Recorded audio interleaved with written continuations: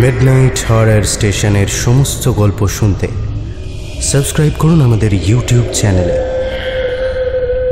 শুনতে থাকুন রণদীপ নন্দীর কাহিনী সলিটারি সেল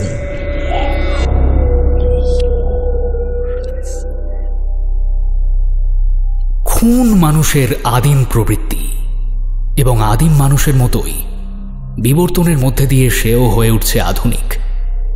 মানুষের মনের অন্ধকারে বাসা বেঁধে লুকিয়ে থাকার কৌশল রপ্ত করছে সে।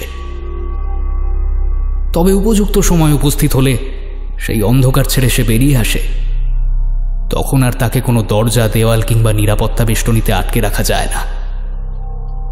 ঠিক যেমন এক্ষুনি একটা খুন হতে চলেছে। যে ঘরে একটা শিশু ঢোকার পর্যন্ত জায়গা নেই, সেখানে একটা মানুষকে গলা টিপে খুন করা হবে। কে করবে এই খুন? এবং সব থেকে বড় কথা, কীভাবে হবে খুনটা? শুনতে থাকুন। রণদীপ নন্দীর কাহিনী সলিটারি সেল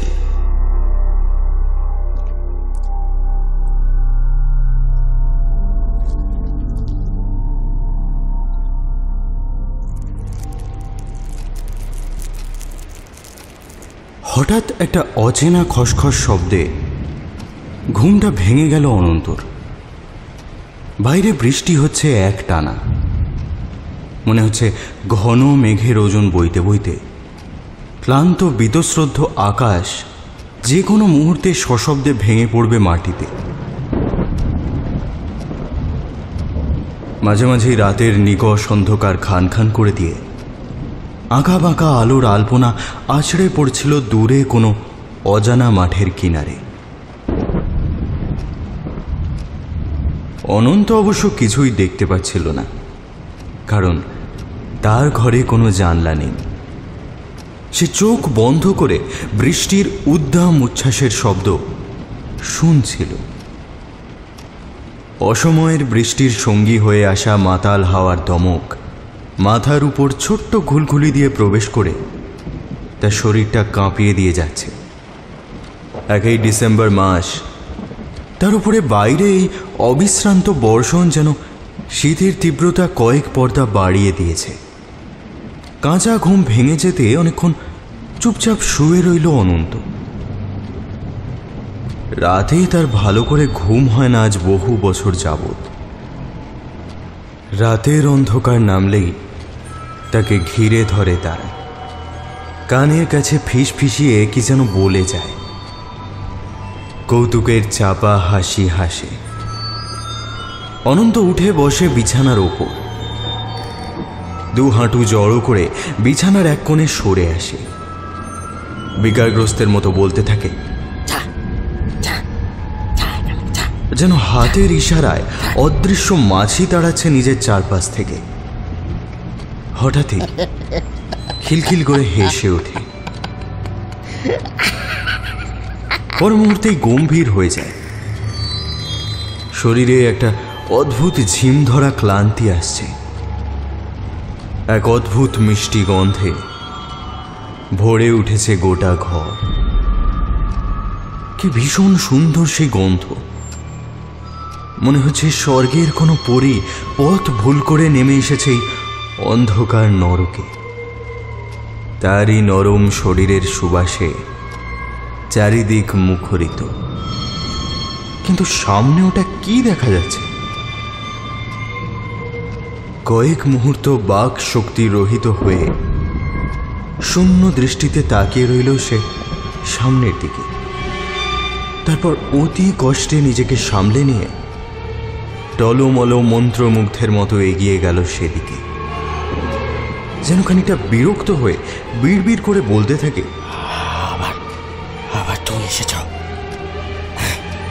একটা নরম আলোয় আধো অন্ধকার ঘরটা ভরে উঠেছে। সে আলো এক অমোঘ আকর্ষণে হাত ছানি দিয়ে কাছে ডাকছে তাকে।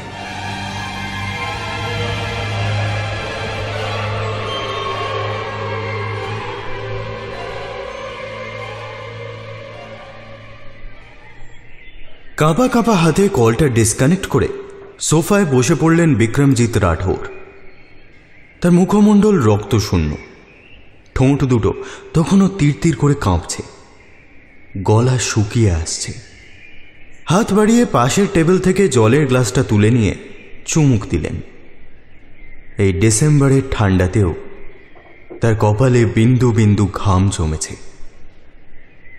প্রায় মিনিট দুয়েক স্থির হয়ে বসে রইলেন পাথরের মূর্তিবৎ।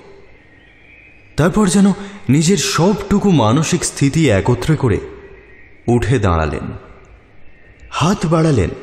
দেওয়ালের হুকে ঝুলন্ত গাড়ির চাবিটার দিকে।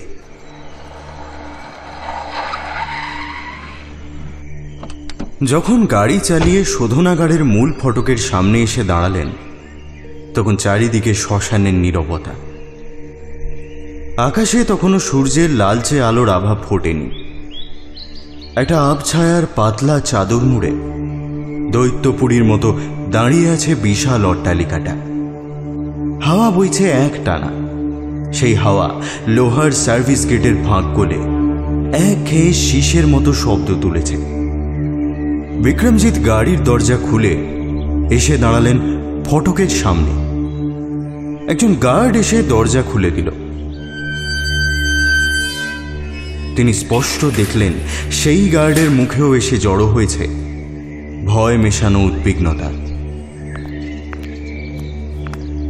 নিচের করিডোরে এসে পৌঁছাতেই কয়েকটা ছেঁড়া ছেঁড়া শব্দ কানে এলো তার। লম্বা করিডোরে কতগুলো ভারী বুটের ছোটাছুটি করার শব্দ। কিছু মানুষের নিচু স্বরের গুঞ্জন। সেই শব্দ ফাঁকা করিডোরে প্রতিধ্বনিত হয়ে অশরীরই শোনাচ্ছে। বিক্রমজিৎ পায়ে পায়ে এগিয়ে এসে তার নিজস্ব কেবিনের সামনে এসে দাঁড়াতেই বিকাশ ছুটে এলো। বিকাশ চৌবে, বিক্রমজিতের অধস্তন। এমনিতে চৌকস ছেলে ওয়েট লিফটিংয়ে দুবার স্টেট লেভেল অ্যাওয়ার্ড পেয়েছে। পুলিশের ফুটবল টিমের নিয়মিত সদস্য। কিন্তু ভূত, আরশোলা, টিকটিকি সিনিয়র অফিসার সহ সবেতেই মারাত্মক ভয় বিকাশের। অজানা পরিস্থিতির আতঙ্কে সর্বক্ষণই জুবুথুবু হয়ে থাকে। স্যার, সর্বনাশ হয়ে গেল। আমাদের মনে হয় সবার চাকরি যাবে। বিক্রমজিৎ উত্তর দিলেন না। তার ঠিক সামনেই কাঠের বেঞ্চে শোয়ানো আছে একটা মৃতদেহ। বুক অব্দি সাদা কাপড়ে ঢাকা। দুচোখ বিস্ফারিত। ঠোঁটের কষ বেয়ে রক্ত গড়িয়ে এসে বাদামি হয়ে গেছে। কয়েকটা মাছি ভন ভনাচ্ছে সেই জমাট বাঁধা রক্তের চারপাশে। সেদিকে তাকিয়ে শুধু একবার ঢোঁক কিনলেন তিনি। মৃতদেহটা অনন্ত প্রধানের। দেশের সব থেকে ভয়ঙ্কর আতঙ্কবাদী সংস্থা জে জে এফ এর একজন কুখ্যাত কমান্ডার। দিন তিনেক আগেই জে জে এফ এর দুজন প্রধান কমান্ডারকে তুলে দেওয়া হয়েছে বিক্রমজিতের দায়িত্বে থাকাই সংশোধনাগারের হেফাজতে। রঘুবীর শর্মা আর এই অনন্ত প্রধান। কানাঘুষো শোনা যাচ্ছিল অনন্ত প্রধানের রাজসাক্ষী হওয়ার সম্ভাবনা প্রবল। দেশের ছোট বড় সমস্ত মিডিয়া এখন সেই আলোচনায় উত্তাল। এই অবস্থায় অনন্ত প্রধানের এই হত্যা যে কি বিভীষিকা ডেকে আনতে পারে তার জীবনে, সে কথা মনে হতে নিজের অজান্তেই একবার কেঁপে উঠলেন দুধে পুলিশ অফিসার বিক্রমজিৎ রাঠোর। নিজেকে একটু সামলে তিনি প্রশ্ন করেন আপনারা কখন জানতে পারলেন? এই তো একটু আগেই স্যার। সঙ্গে সঙ্গেই তো আপনাকে ফোন করলাম। একটা কথা বলব স্যার? মানে যদি কিছু মনে না করেন। কি? বলছিলাম কি এটা মানুষের কাজ না স্যার। মানে? গলা টিপে খুন করা হয়েছে। এই তো গলায় আঙুলের আবছা দাগ অবধি দেখা যাচ্ছে। জানি জানি স্যার। কিন্তু সলিটারি সেল এই সেলে তো দূরের কথা পুরো উইং দেওয়ার একটাও কয়দি নেই। ঢোকার তো মাত্র একটা দরজা। সেখানে তিনজন গার্ড থাকে আর ভেতরের সেলের দরজায় মোটা মোটা তালা ঝুলছে। একটা জানালা অবধি নেই। আপনি কি বুঝতে পারছেন না স্যার? চলো ভেতরে চলো। কথাটা ধমকে বললেও বিক্রমজিৎ স্পষ্ট বুঝতে পারলেন। তার গলার স্বভাব সুলভ দৃঢ়তা যেন বেমালুম অদৃশ্য হয়েছে। একটা তেল চিটে নোংরা দেওয়াল। দুই তৃতীয়াংশ দেওয়াল একসময় সাদা ছিল।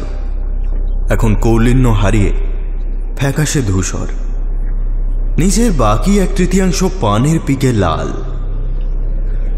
ঘরে আসবাব বলতে শুধু একদিকের দেওয়ালের সঙ্গে লাগানো একটা উঁচু খাট।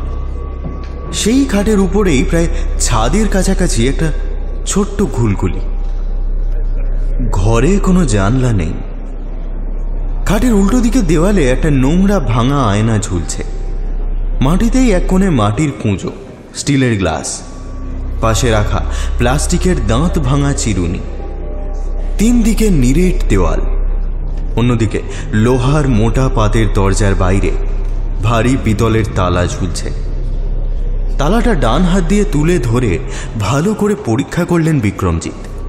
না, কোথাও বাড়ি মারার বা বল প্রয়োগের কোনো চিহ্ন নেই। সেলের বাইরে অপ্রশস্ত করিডোর। করিডোরের শেষে সেই একই রকম মোটা লোহার পাতের দরজা। এই দরজার বাইরেই সারা রাত পাহারায় ছিল গার্ডেরা। দরজার বাইরে সিসিটিভি ক্যামেরা বসানো। গার্ডদের মধ্যে কেউ দরজা খুলে ভেতরে ঢুকলে সেটা সেই ক্যামেরায় ধরা পড়ার কথা। বিক্রমজিৎ চাপা গলায় বললেন, সিসিটিভি ফুটেজ চেক করতে হবে। চলে আসুন বিকাশজি। কুইক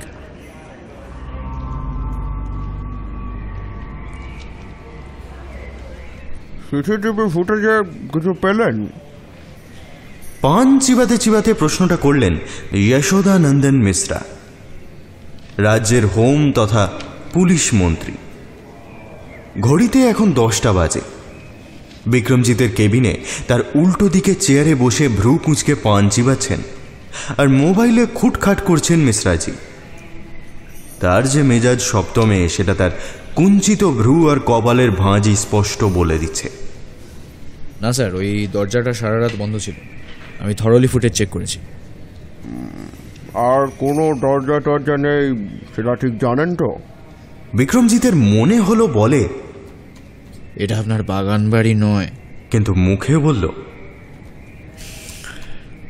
হ্যাঁ স্যার একটাই দরজা। ওপরে একখান ঘুলগুলি আছে দেখলাম না। ওটা দিয়ে যদি কেউ ঢোকে। সেটা দিয়ে একটা ছ মাসের বাচ্চাও গলবে না স্যার। কতকটা বিরক্তির সঙ্গে কথাটা বললেন বিক্রমজিৎ। মাঝে মাঝে লোকটার শিশুসুলভ কথা শুনে একটা রাগ মেশানো হাসি পায় তার। তবে এই পরিস্থিতিতে চরম বিরক্তি ছাড়া অন্য কোনো অনুভূতি তাকে ছুঁতে পারছে না। কটা নাগাদ খুন হলো। পোস্টমর্টম রিপোর্ট আসার আগে বলা শক্ত, তবে বডিতে রিগার মর্টিস শুরু হয়নি তখন।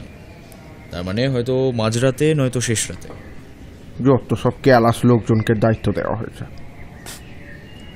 এরা হাই প্রোফাইল কয়েদিকে কেউ বন্ধ ঘরে অদৃশ্য হয়ে ঢুকে মেরে ফেলল। আপনার ধারণা আছে এই জন্য সিএম সাহেব আমার মাথা চিবিয়ে খাবে? শুধু সিএম কেন? সালা মিডিয়া একবার জানতে পারলে আমার ধুতি আপনার উর্দি সব খুলে নেবে। যত সব। তা সাসপেক্ট আছে কেউ? যদি মোটিভের দিক থেকে দেখা যায় তাহলে জে জে এফ এর আরেকজন কমান্ডার রঘুবীর শর্মা। কিন্তু সে তো ইস্ট উইংয়ের একটা সলিটারি সেলে বন্দি। সেই দরজাও সারাক্ষণ বন্ধ ছিল। সিসিটিভি ফুটেজে চেক করেছি। সেও তো সারা রাত সেলেই ছিল। তাহলে কি ভূতে এসে ঘাড় মটকে গেল নাকি? আমার চব্বিশ ঘণ্টার মধ্যে রিপোর্ট চাই। নইলে আপনার কপালে দুঃখ আছে এই আমি বলে দিলাম। উত্তর দেন না বিক্রমজিৎ। উত্তর তার জানা নেই। তার এত বছরের কেরিয়ারে অন্তত দশ বারোটা থানার দায়িত্ব সামলেছেন। অসংখ্য জটিল কেস সলভ করেছেন। কিন্তু নিজেকে আগে কখনো এতটা অসহায় লাগেনি। যশোদানন্দন আরও অনেক কথা বলে চলেছেন। কিন্তু সেসব কথা তার কানে প্রবেশ করলেও তার মস্তিষ্ককে স্পর্শ করছে না। মন্ত্রী বিদায় নিলে রঘুবীর শর্মার সেলে এসে ঢোকেন তিনি। ঠিক একই রকম সেল। ছোট্ট নিরেট দেওয়ালের ঘর। দেওয়ালের সঙ্গে ঘেঁষে থাকা সরু খাটে শুয়ে আছে রঘুবীর। বয়স প্রায় চল্লিশের কোঠায়। কিন্তু শরীরে এতটুকু ভাঙন ধরেনি। চোখের শান্ত ঢুলুঢুলু মনিতে এক অদ্ভুত কুটিলতা খেলা করে বেড়ায়। নিচু স্বরে রয়ে শয়ে কথা বলে। দরজা খোলার শব্দ পেয়ে খাটের উপরে এসে উঠে বসল। বিক্রমজিৎকে ঢুকতে দেখেই ঠোঁটের কোণে একটা অদ্ভুত ব্যঙ্গের হাসি ফুটে ওঠে। সেই হাসি দেখেই মাথায় দপ করে আগুন জ্বলে ওঠে তার। কিন্তু নিজেকে সামলে নিয়ে তিনি সরাসরি জিজ্ঞেস করেন অনন্ত প্রধানের মৃত্যুর ব্যাপারে আপনি কিছু জানেন? খিক খিক শব্দে হেসে ওঠে রঘুবীর। তার শরীরের তুলনায় গলার স্বর ভীষণ বেমানান। সরু ফ্যাঁসফ্যাঁসে চেরা স্বর শুনলে কেমন যেন সাপের হিসিসানি মনে পড়ে যায়। একটা অজানা অস্বস্তি গ্রাস করে নেয় অবচেতন মনকে। ঠিক সেই রকম হিস হিসে স্বরে একটা অদ্ভুত সুর করে সে বলে ওঠে। I looked then at the silly walls through dark eyes in a dark face. and this is what I know that all these walls of Russian beetles will have to go. I look at my own body with eyes no longer blind. And I see that my own hands can make the world that's in my mind. then let us hurry, comrades. The road to find out. সালা চুতিয়া বিক্রমজিৎ নিজেকে স্থির রাখতে পারেন না মিটিমিটি হাসতে থাকা লোকটার চোয়াল লক্ষ্য করে ঘুষি চালান রঘুবীর একটা অস্পষ্ট শব্দ করে ভারসাম্য হারিয়ে ছিটকে পড়ে মাটিতে দেওয়ালে মাথা ঠুকে যায়। কয়েক মুহূর্ত সেভাবেই পড়ে থেকে ফের উঠে দাঁড়ায়। কপালের কাছে ফেটে গিয়ে রক্ত ঝরছে। কিন্তু মুখের সেই শয়তানি হাসিটা তখনও মিলিয়ে যায়নি। বিক্রমজিতের কানের কাছে মুখ এনে ফিসফিসিয়ে বলে, যখন এই বিশাল প্রাসাদ জুড়ে রাত্রি নামে তখন জেগে ওঠে কিছু নাম না জানা ছায়া মূর্তি তাদের চোখ দেখা যায় না, স্পর্শ করা যায় না, শুধু গন্ধ পাওয়া যায়। কি দারুণ সে গন্ধ।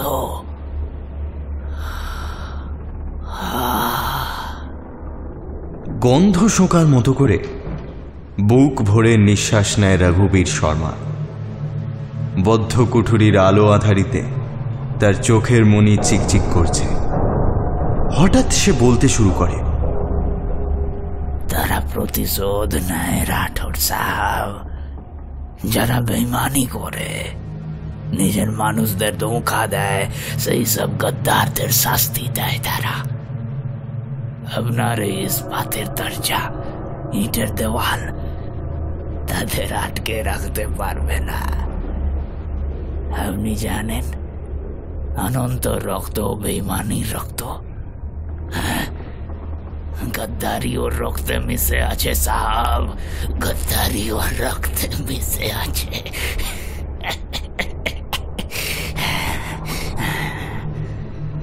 কথা শেষ করে হাসতে থাকে রঘুবীর। মনে হয় তার হাসির দমকে তীর তীর করে কাঁপছে। এই ছোট্ট কুঠুরি। মানে কি বলতে চাইছো? মানে ওর বাবাও ধোকা দিয়েছিল সাহাব আমরা পুলিশের তাড়া খেয়ে লুকিয়েছিলাম ওর দেশের বাড়ি। সে ছোটবেলায় বাড়ি থেকে পালানোর পর ও পহলি বার বাড়ি ফিরছিল আনন্দ। ইউপিতে আসাইন নামের একটা ছোট্ট গ্রাম। বাড়ির পাশেই বিশাল গোলাপ বাগান। কনৌজ টাউনে ওর বাবার একটা ছোট্ট কারখানা।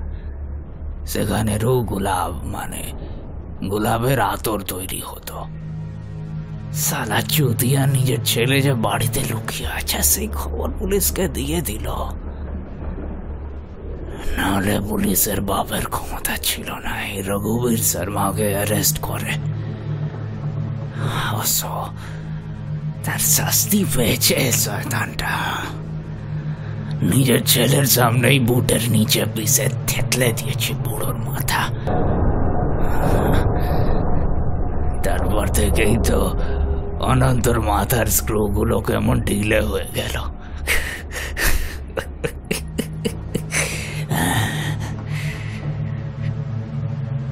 একটা অদ্ভুত আত্মপ্রসাদের হাসি হাসে রঘুবীর। বিক্রমজিৎ অস্ফুটে একটা গালি উচ্চারণ করে সেল থেকে ছিটকে বেরিয়ে আসে।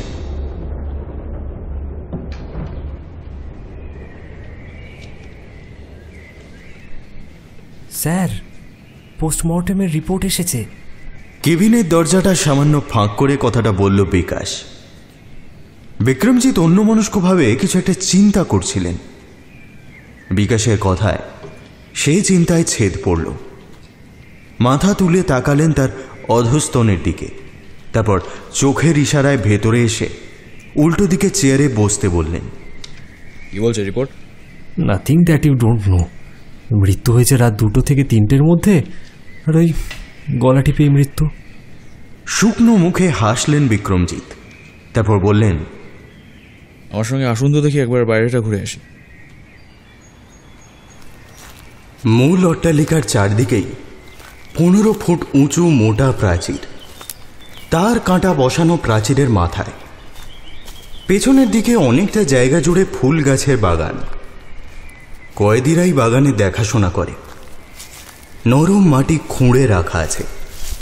সাবধানে পা ফেলে হাঁটতে হচ্ছে। বিকাশ অবশ্য সেসব খেয়াল করে না। সে হাত বাড়িয়ে একটা গাছ থেকে ঘন লাল রঙের গোলাপ ছিঁড়ে বুক পকেটে গুঁজেছিল। হঠাৎ তার খেয়াল হলো বিক্রমজিৎ তার দিকেই তাকিয়ে আছেন ভৎসনার দৃষ্টিতে। বিকাশের অপ্রস্তুত হাসিকে উপেক্ষা করে তিনি কতকটা যেন নিজের মনেই বলে ওঠেন। কিন্তু খুনটা হলো কীভাবে? স্যার আমার যা মনে হয় সে কথা বললে আপনি নিখাত রেগে যাবেন। কেন? ভূত? স্যার বন্ধ ঘরে অদৃশ্য কেউ ঢুকে একজন মানুষের প্রাণ নিয়ে গেল।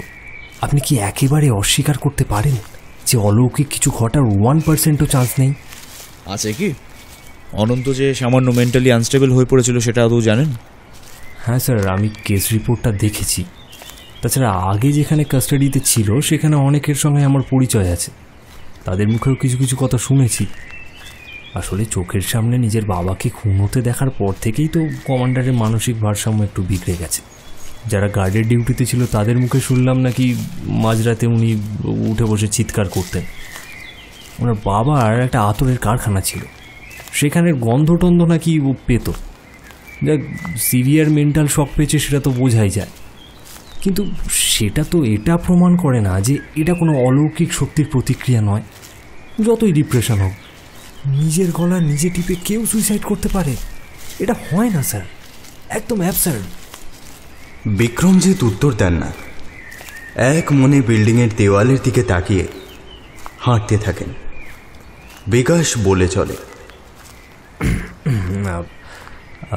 আপনি হয়তো জানেন না এই ওয়েস্ট উইংয়ে কোনো গার্ড পাহারা দিতে চায় না কিন্তু। রাতে নাকি কি সব অদ্ভুত শব্দ পাওয়া যায়?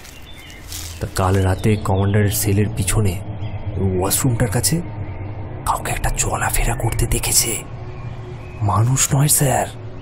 শুধু একটা ছায়া মূর্তি। তাকে নাকি চোখে দেখা যায়নি। তবে গার্ডেদের মুখে শুনলাম কেমন একটা গন্ধ পাওয়া যাচ্ছিল। মিষ্টি অথচ কেমন ঝাঁঝালো টাইপের। বিক্রমজিৎ খুব মনোযোগ দিয়ে মাটির দিকে তাকাতে তাকাতে হাঁটছিলেন। হঠাৎ বিকাশের শেষ কথাটা শুনে চমকে উঠে ঘুরে তাকালেন। মনে হলো একটা অজানা অস্বস্তি যেন ধীরে ধীরে গ্রাস করছে তাকেও।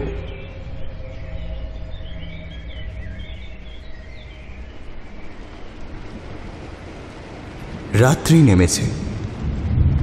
ঘড়িতে প্রায় রাত নটা।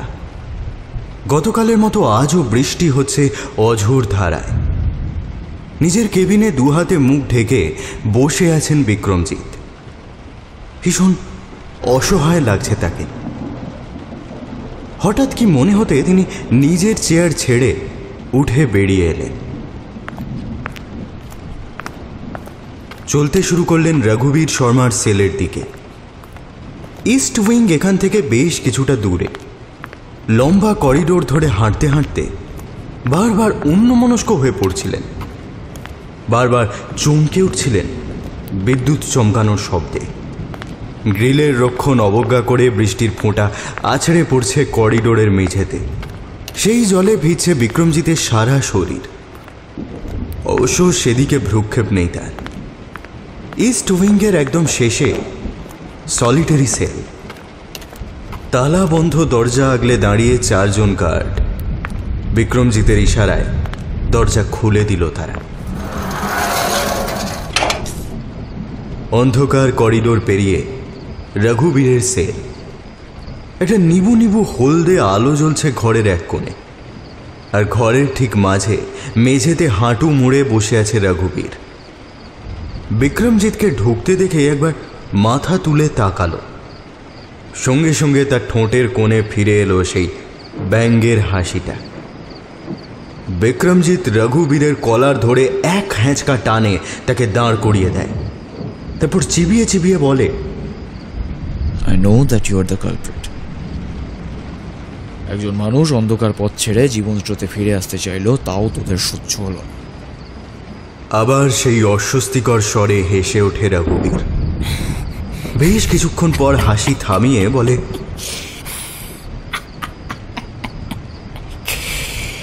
ডার্লিং এই রাস্তায় কোনো ইউ টার্ন নেই। Either you are with us or against us বিক্রমজিতের নিঃশ্বাস ঘন হয়ে আসে। রাগে ঘৃণায় তার নাকের ডগা ফুলে উঠেছে। ইচ্ছা করছে এই নরকের কীটটাকে ভারী জুতোর নিচে ফেলে পিষে মারে। রঘুবীর তখনও বলে চলেছে।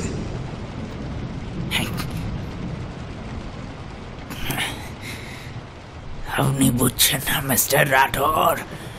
এই পৃথিবী জুড়ে ভীষণ কেওস সব কিছু কেমন অগোছালো খাপ ছাড়া কারোর পেটে ভাত নেই কিন্তু ব্যাগ ভর্তি ডিগ্রির সার্টিফিকেট আছে কারোর পেটে বিদ্যে নেই কিন্তু ব্যাগ ভর্তি টাকা আছে কেউ ওবেসিটিতে ভুগছে তো কেউ ম্যাল নিউট্রিশনে আপনি যেদিকে তাকাবেন শুধুই বৈষম্য বৈষম্য তাই এসব কিছু প্রথমে ভেঙে গুঁড়িয়ে দিতে হবে তারপর সেখানে গড়ে তুলতে হবে স্বপ্নের ইমারত যেখানে সবাই খুশ সবাই সচ্ছল আর সেটার জন্যই বুঝি প্রতি বছর তোরা লাখ লাখ নিরীহ মানুষকে নির্বিচারে খুন করেছিস খুন শব্দটা আমার ভীষণ অপছন্দের রাঠোর সাহেব এরা সবাই শহীদ শহীদ কিছু পেতে গেলে কিছু হারাতেও হয়। ধরে নিন এরা একটা গ্রেটের জন্য বলি প্রদত্ত। ক্যাজুয়ালটি এই বাজে কথা ছাড়। আগে বল কি করে খুন করলি অনন্ত প্রধানকে। খুন? আমি? দু চোখে অবাক দৃষ্টি নিয়ে রঘুবীর বেশ কিছুক্ষণ বিক্রমজিতের দিকে তাকিয়ে থাকে। তার মুখ দেখে মনে হয় যেন ভারী অবাক হয়েছে। তারপর হঠাৎ তার মুখের অভিব্যক্তির পরিবর্তন হতে শুরু করে। সেই অবাক, নিষ্পাপ দৃষ্টি পরিবর্তিত হয়ে একটা নিষ্ঠুর কৌতুক ফুটে ওঠে দু চোখে। ঠোঁটের কোণে ফিরে আসে সেই শয়তানি হাসির ঝিলিক।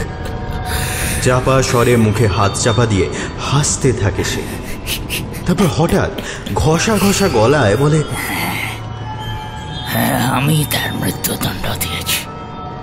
গদ্দার ছিল আনন্দ। গদ্দার। যে দল তাকে সবকিছু দিয়েছে আদার্স দিয়েছে, লড়াই করবার তাগিদ দিয়েছে, তার প্রতি বেইমানি করেছে ও। শাস্তি ওকে পেতেই হতো। তবে তার প্রাণ আমি নিজে হাতে নিইনি। ইচ্ছে ছিল, কিন্তু চোখের ইশারায় বন্ধ লোহার দরজার দিকে ইঙ্গিত করে সে। তারপর আবার বলতে থাকে, যখন রাত্রি নামে, তখন বাতাসে শোনা যায় তাদের ফিস ফিস বেশ বেশ মিহি কুয়াশার চাদর ভেদ করে পৃথিবীতে নেমে আসে তারা। তাদের দেখা যায় না। শুধু অনুভব করা যায়। অনুভব। শোনা যায় চাপা গলায় কথা বলার আওয়াজ। খিলখিল হাসির শব্দ। বাতাসের উষ্ণতা কমে আসে অকারণেই মিষ্টি গন্ধে মাতোয়ারা হয় আকাশ বাতাস। আসে তারা আসে শান্তি দিতে। স্বয়ং নেমেসিস হয়ে। হ্যাঁ আর সঙ্গে সঙ্গে নিজের রুমালটাও ফেলে যায়। মুচকি হেসে পকেট থেকে একটা প্লাস্টিকের প্যাকেট বের করলেন বিক্রমজিৎ। প্লাস্টিকের মোড়কে একটা সাদা কালো ডোরা কাটা রুমাল। এটা কাল ল্যাবে যাবে। ডিএনএ টেস্ট হলেই বোঝা যাবে যে কে তোর নেমেসিস? রঘুবীরের শান্ত গভীর দুটো চোখ দপ করে জ্বলে উঠেই আবার স্বাভাবিক হয়ে গেল। মুচকি হেসে বলল আজকাল লোকের ঘাম মোছা রুমালও কালেক্ট করছেন নাকি? তো বেশ বেশ। বিক্রমজিৎ আর সেখানে দাঁড়ালেন না। রুমালটা পকেটে ভরে বেরিয়ে এলেন ঘর থেকে।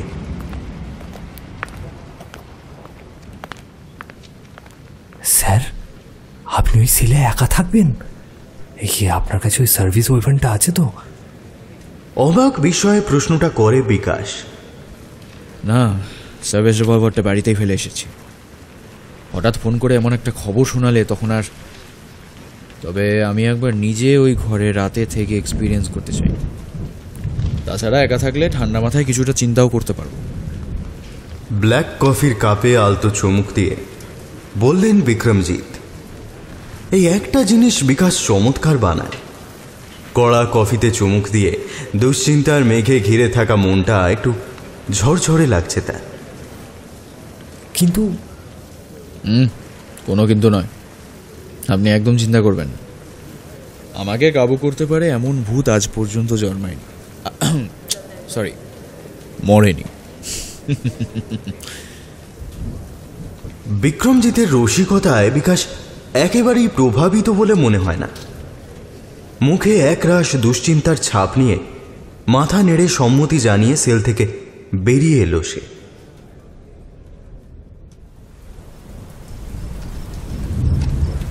বাইরে বৃষ্টি হচ্ছে অঝোর ধারায়। যেন আজই মহাপ্রলয়ের নির্ঘণ্ট উপস্থিত। বিদ্যুৎ চমকের ভোঁতা শব্দে ছোট্ট বদ্ধ ঘর কেঁপে কেঁপে উঠছে। বিক্রমজিতের সেদিকে ভ্রুক্ষেপ নেই। তিনি বিছানায় গা এলিয়ে দুচোখ বন্ধ করে বিদ্যুৎ চমকের শব্দ শুনছিলেন। খাটের ঠিক উল্টো দিকের দেওয়ালে ঝুলন্ত আয়নাটাও কেঁপে উঠছে সেই শব্দের সঙ্গে তাল মিলিয়ে। বছর শেষের শিরশিরানি ঠান্ডা প্রকাণ্ড ময়াল সাপের মতো আষ্টে পৃষ্ঠে বেঁধে ফেলছে তাকে। সারা দিনের অক্লান্ত পরিশ্রম তার শরীরকে এক ক্লান্তির আবেশে আচ্ছন্ন করে ফেলছে। গভীর ঘুমে দুচোখ বুজে আসছে তার। মাথার ভেতর ঝিমঝিম ভাব। ঘুমের রেশ কাটাতে পকেট থেকে একটা সিগারেট বের করে ধরাতে গিয়েও থমকে গেলেন তিনি। হ্যাঁ মনের ভুল নয়। একটা ভীষণ মিষ্টি গন্ধে ভরে উঠেছে গোটা ঘর। খুবই কড়া সুগন্ধ। ধীরে ধীরে ছোট্ট ঘরটা ভরে উঠছে সে মন মাতানো মায়াবী সুগন্ধে। কিন্তু সামনে ওটা কি দেখা যাচ্ছে? সামনের দেওয়ালে ঝুলন্ত আয়নায় কার যেন প্রতিচ্ছবি ফুটছে না? পেছনে তীব্র আলো। সেই আলোর সামনে দাঁড়িয়ে থাকা একজন মানুষের আবছা আকৃতি ফুটে উঠেছে আয়নায়। বেশ কিছুক্ষণ সেদিকে মন্ত্রমুগ্ধের মতো তাকিয়ে থাকার পর পায়ে পায়ে সেদিকে এগিয়ে যান বিক্রমজিৎ। আয়নার ঠিক সামনে এসে দাঁড়াতেই তার নিজের শরীরে ঢেকে যায় সেই প্রতিমূর্তি। আয়নায় শুধুই দেখা যায় তার নিজেরই প্রতিচ্ছবি। অর্থাৎ আলোর উৎস তার মাথার ঠিক পেছনে। মাথা ঘুরিয়ে পেছনে তাকাতেই চোখ চলে যায় ওই ঘুলঘুলিটার দিকে। হ্যাঁ ওখান থেকেই আসছে সেই আলো এবং ছায়া মূর্তির প্রতিবিম্ব। বিক্রমজিৎ পেছন ঘুরে পায়ে পায়ে এগিয়ে যান সেদিকে। খাটের উপর উঠে দাঁড়িয়ে পায়ের পাতার সামনের অংশে ভর দিয়ে উঁকি মারলেই নাগাল মিলবে ঘুলঘুলিটার দেখা যাবে আলোর উৎস। বিক্রমজিৎ বুঝতে পারেন, তার পা টলছে টলমল করে। শরীরের ভারসাম্য রাখতে ব্যর্থ হচ্ছেন তিনি। কোনো ক্রমে দেওয়ালে ভর দিয়ে শরীরটাকে টেনে হিঁচড়ে খাটের উপরে তুলে তিনি এগিয়ে যান ঘুলঘুলির দিকে।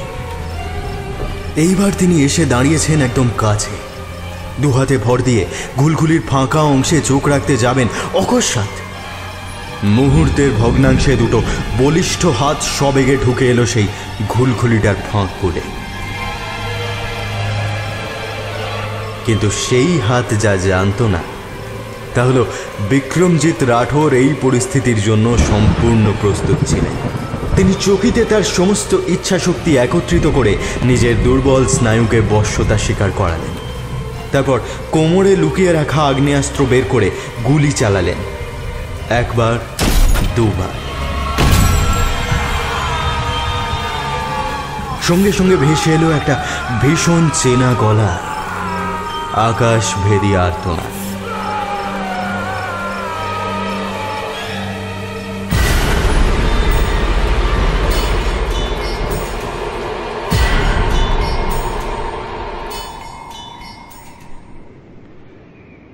বিকাশের ওপর আমার তখনই সন্দেহ হয় যখন গোটা বিল্ডিংয়ে সিসিটিভি ফুটেজ চেক করার পরেও পুরো কমপ্লেক্সে কোথাও বিকাশকে আমি দেখতে পাই না। অথচ সে নিজে ভূতের ভয় পায় বলে নাইট ডিউটির সময় কখনো একা কমপ্লেক্স থেকে বেরিয়ে যায় না। তাছাড়া সকাল থেকে আরও একটা ব্যাপার আমার খটকা লাগে। অনন্তর প্রসঙ্গ উঠলেই বিকাশ তাকে অন্তত বার তিনেক কমান্ডার বলে সম্বোধন করে। একজন পুলিশ অফিসারের মুখ থেকে একজন আতঙ্কবাদীর প্রতি ওই সম্বোধন কাম্য নয়, তাই না? যদি না সেটা দীর্ঘদিনের অভ্যাস বা আমরা যাকে বিজ্ঞানের ভাষায় বলি ক্লাসিক্যাল কন্ডিশনিং হয়। ঠিক তখনই একটা সম্ভাবনা মাথায় আসে আমার যে বিকাশ নিজেই যে যে এফ এর মেম্বার পুলিশের চাকরি জয়েন করেছে, ওদের হয়ে ইনফর্মারের কাজ করছিল বলে। অনন্ত রাজসাক্ষী হলে তার তো সমূহ বিপদ। অনন্তের জন্য বরাদ্দ সলিটারি সেলেই বসে আছেন বিক্রমজিৎ রাঠোর। সঙ্গে মন্ত্রী যশোদানন্দন এবং জনাচারেক অফিসার বিকাশকে নিয়ে যাওয়া হয়েছে হাসপাতালে। হাতে অত ক্লোজ কন্ট্যাক্টে দুটো নাইন এম এর গুলি লেগেছে। আলনা এবং রেডিয়াস দুটোই চূর্ণ বিচূর্ণ ওই হাত আর কোনোদিন স্বাভাবিক হবে কিনা সন্দেহ। রঘুবীর শর্মার অর্ডারেই যে এই নারকীয় হত্যাকাণ্ড তাতে কারোর দ্বিমত নেই। তার এগেনস্টে আরও একটা কেস ওপেন হলো। তবে তার পাপের যা বোঝা তাতে এমনিতেই তার ভাগ্যে ফাঁসির সাজা অনিবার্য। তারপর? উত্তেজিত কণ্ঠে জিজ্ঞেস করেন যশোদানন্দন। তারপর আর কি? ওর সঙ্গে পেছনের বাগানে যাই রেকি করতে? ওই যে গুলগুলিটা দেখছেন? ওটার ঠিক পেছনে গোলাপের বাগান। খানিক মন দিয়ে খুঁজতেই পেয়ে গেলাম যেটা খুঁজছিলাম। গুলগুলির ঠিক নিচেই নরম মাটিতে এক জোড়া গোল অগভীর গর্ত। গেস করুন তো দেখি কিসের গর্ত হতে পারে। স্যার মই। পেছন থেকে একজন তরুণ এএসআই বলে ওঠেন। Right you are. আমি ইচ্ছে করেই ওই গর্তে পা বেঁধে পড়ে যাওয়ার অভিনয় করি। আর দেখতে পাই আমার হোঁচট খাওয়ার সুযোগ নিয়ে বিকাশ তাড়াতাড়ি জুতোর আগা দিয়ে অন্য ফুটোটা বুঝিয়ে দেয়। তবে আমার উদ্দেশ্য অন্য ছিল। আমি ততক্ষণে ওর পকেট থেকে ওর রুমালটা ঝেড়ে দিয়েছি। তারপর সেটা সামান্য কাদা মাখিয়ে সেটা দিয়ে টোপ ফেলি রঘুবীর শর্মার সামনে। গরমকাল হলে বারবার রুমালে হাত মুছতে হয় বা রুমালের খেয়াল থাকে। শীতকালে তো আর সেই বালাই নেই। লোকে অর্ধেক সময় ভুলেই যায় যে তার পকেটে রুমাল আছে। তাই বিকাশও আমার হাতে নিজের রুমাল দেখে ভেবে নেয় যে গতকাল রাতে পেছনের বাগানেই রুমাল ফেলে এসেছে। আসলে আমার হাতে যা প্রমাণ ছিল সেটা সবই সার্কামস্ট্যান্সিয়াল তাই এভাবে একটু ঝুঁকি নিয়ে আরেকবার ক্রাইম সিন রিক্রিয়েট করে রেড হ্যান্ডেড না ধরলে প্রমাণের অভাবে ওদের ছাড়া পেয়ে যাওয়ার সম্ভাবনা ছিল। ও হ্যাঁ এবার তাহলে খুনের প্রসেসটা বলি। প্রথমে এই মিষ্টি গন্ধের কথা শুনে আমার মনে হয়েছিল ক্লোরোফর্ম, কিন্তু তারপরেই মনে হয় ক্লোরোফর্ম হলে তো ভিকটিম সেন্সলেস হয়ে যেতে পারে। তাছাড়া অটপসি রিপোর্টে তো ক্লোরোফর্মের ট্রেস মেলারই কথা। তারপরে মাথায় এলো যে কি হতে পারে। অনন্ত নিজের চোখের সামনে তার সহকর্মীর হাতে নিজের বাবাকে খুন হতে দেখেছে। তার বুক ফেটে গেলেও তার প্রতিবাদ করতে পারে সেই গিল্ট বিভীষিকার মতো তাকে তাড়িয়ে নিয়ে বেড়াচ্ছে। সেই থেকেই হ্যালুসিনেশন বা হয়তো শেষের দিকে অ্যাকিউট স্কিজোফেনিয়া বাবা ছিলেন কনৌজের এক ছোট্ট আতর কারখানার মালিক। ছোটবেলায় বাড়ি থেকে পালানোর ফলে বাবার স্মৃতি হিসাবে যে সিম্বলটা আজীবন বয়ে বেরিয়েছে তা হলো, দিনের শেষে ঘরে ফেরা বাবার শরীর থেকে ভেসে আসা তীব্র মিষ্টি আতরের গন্ধ। তাই তার অবচেতন মনে কোনোভাবে হ্যালুসিনেশনের সঙ্গে ওই গন্ধটাও অ্যাসোসিয়েট করে নিয়েছিল। এবং এই সুযোগকেই কাজে লাগিয়েছিল বিকাশ। আমার স্থির বিশ্বাস যে সে আগেও দু একবার গভীর রাতে ওই ঘুরগুলির পেছনে গিয়ে দাঁড়ায়। আলতো টোকা দিয়ে বা ফিস পিষিয়ে ডেকে অনন্তকে কাছে ডাকার চেষ্টা করে। কিন্তু অনন্ত রীতিমতো প্যারানয়া ভুগছিল। তার ধারণাই হয়েছিল তার দলের লোকেরা তাকে খুন করতে চায়। তাই সেই শব্দ পেয়েও আরও গুটিয়ে বিছানা আঁকড়ে সে এক কোনায় বসে থাকে। তখন রঘুবীর এবং বিকাশ অন্য ফন্দি আটে। অনন্তর মানসিক স্থিতির অস্থিরতাকে এক্সপ্লয়েট করে তাকে কাছে টেনে আনে। ওই গুলগুলির পেছনে বাগান, পুরো এলাকা পনেরো ফুট উঁচু প্রাচীর এবং ইলেকট্রিফাইড তার কাটা দিয়ে সুরক্ষার বলয় মোড়া। বাইরে থেকে কোনো ব্যক্তির ভেতরে ঢুকে আক্রমণ করার প্রশ্নই নেই। অবশ্য বাঘের ঘরেই যে ঘোঘের বাসা থাকতে পারে সে কথা বোধ করি সরকার বাহাদুরের বিবেচনায় আসেনি। তাই সেদিকে সিসিটিভি ক্যামেরা লাগানোর প্রয়োজন বোধ করেনি কেউ। যাই হোক, ধরুন আপনি এই ঘরে শুয়ে ঘুমাচ্ছেন। এখন যদি আপনাকে খুন করতে চাই তাহলে আপনার নাগাল পেতে হবে। তার দুটো উপায়। এক, নিজে সশরীরে আপনার কাছে আসা, যেটা অসম্ভব। অন্যটা হলো কোনোভাবে আপনাকে তাদের নাগালে নিয়ে যাওয়া। আর তার সহজতম উপায় হলো ঘুলঘুলির কাছে আওয়াজ করা, অথবা ফিস ফিসিয়ে কাছে ডাকা কিন্তু সেই চেষ্টা তো বৃথা গেছে। অগত্যা প্রথমে প্রচণ্ড কড়া গন্ধযুক্ত আতরে মাইন্ড সেডেটিভ মিশিয়ে স্প্রে করো। ভিকটিম অজ্ঞান হবে না, কিন্তু তার স্নায়ু দুর্বল হয়ে পড়বে। শারীরিক শক্তি কমে আসবে। ফলে তাকে আক্রমণ করাকালীন সে বাধা দিতে চাইলেও তার পক্ষে সেটা সহজ হবে না। এরপরে ঘুলঘুলি দিয়ে টর্চের আলো ফেলে উল্টো দিকের দেওয়ালে ঝোলানো আয়নায়। আলোর সামনে ধরা একটা ছোট্ট পিচবোর্ডের cut out. Victim already schizophrenic তার উপর আবার সিডেটিভের প্রভাব। সে ওই গন্ধ, আয়নার আলো এবং ছায়া দেখে বিভ্রান্ত হয়ে প্রথমে এগিয়ে যাবে আয়নার দিকে। তারপর যখন বুঝবে আলো আসছে ওপরের ঘুলগুলি দিয়ে, তখন খাটের ওপরে দাঁড়িয়ে উকি মারবে ঘুলগুলি দিয়ে বাইরে। ব্যাস, আর কি চাই? শত্রু তোমার হাতের নাগালে। অবশ্য আমার ক্ষেত্রে রিস্ক না নিয়ে কফিতে বেশ কিছুটা মাদক মিশিয়ে দিয়েছিল ব্যাটা। কিন্তু বিক্রমজিৎ রাঠৌরকে কাবু করতে পারে এমন কথা শেষ না করে মুচকি হেসে একটা সিগারেট ধরিয়ে শূন্যে ধোঁয়া ছাড়লেন বিক্রমজিৎ রাঠোর। ধোঁয়ার গোল তিনটে রিং হাওয়ায় গা ভাসিয়ে উড়ে গেল মাথার উপরের ছোট্ট ঘুলঘুলির ফাঁক কোলে।